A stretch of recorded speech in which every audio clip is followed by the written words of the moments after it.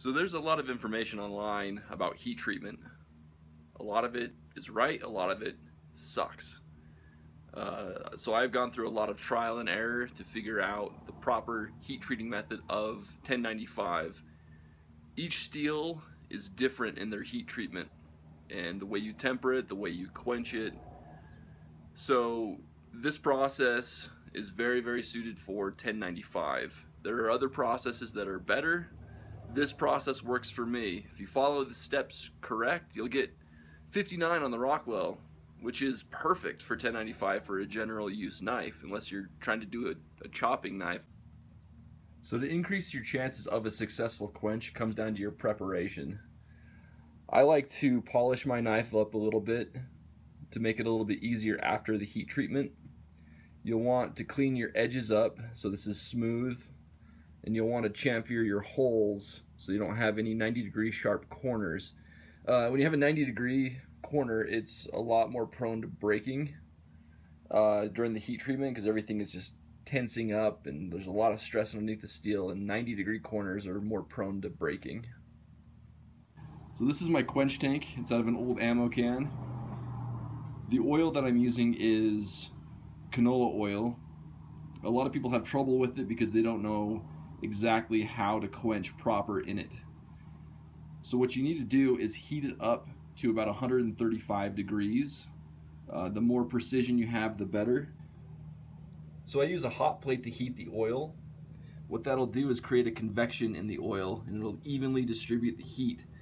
What I used to do is just plunge a hot piece of steel in it and what'll happen is it'll create a hot layer on top and then down below since the colder oil will fall to the bottom uh, when you plunge your knife in to quench it creates these different uh, quenching speeds in the oil. To measure the temperature of the oil I have this K-type uh, thermometer with a probe. Uh, this is a really accurate thermometer. You can get them on online for pretty cheap uh, this is indispensable. I, I wouldn't have the knives I have without this particular piece of equipment. So I'll just turn it on.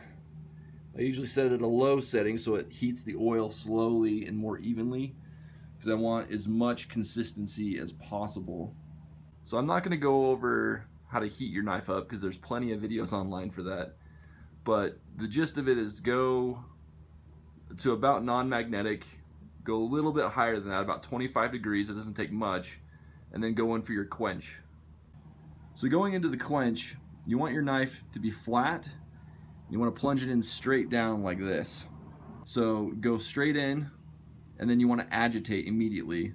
So you just want to do a gentle up and down, not side to side, don't swirl, just go up and down.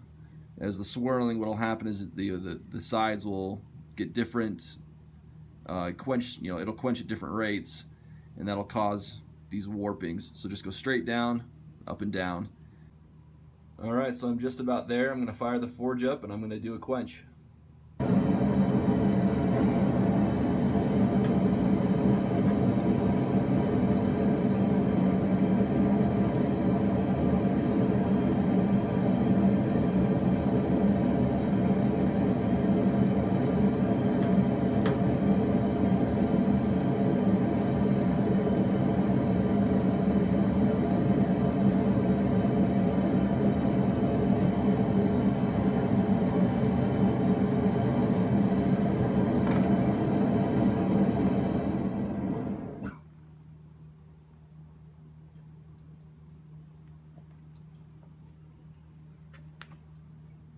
That's all there is to it.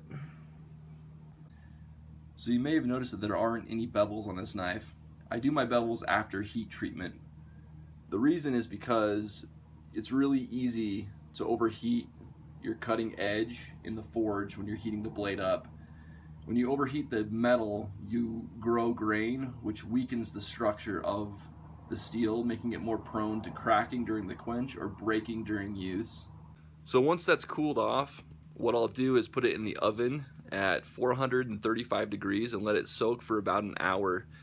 A lot of kitchen ovens are really inaccurate, so you're going to want to use that same thermometer that I showed you earlier and put the probe in just to monitor the temperature of the oven. if you do these steps the same way I'm doing, you're gonna hit 59 on the Rockwell every time. But it's always a good idea to get them checked. Uh, you can go to a local machine shop. They'll usually have Rockwell scale testers. Uh, call beforehand. Uh, it's really good to know consistency on your blades. Uh, you want to know what kind of product you're putting out. You want to know how good your product is. So hopefully this helps. Let me know if you have any questions, and uh, we'll see you on the next video.